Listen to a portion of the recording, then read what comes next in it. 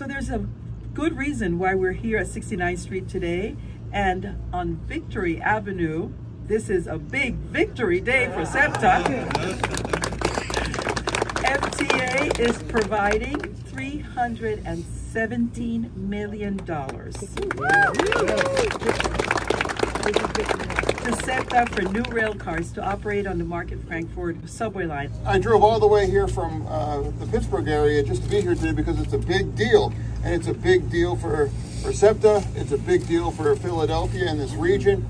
And for SEPTA and our customers, there's no more important asset than the Market Frankford line. And right now, these rail cars are not providing the service our customers and the region need or deserve. SEPTA will move forward with procuring a new modern Market Frankford line fleet that will carry the next generation of SEPTA customers. As we work to design and procure the new rail cars, the team here at 69th Street Car House and the M4 Maintenance Facility are doing an amazing job keeping the current fleet safe and operational. I know we have many of those employees here. Can you just raise your hand if you've spent time making sure the M4 cars are working? This investment says that we see you.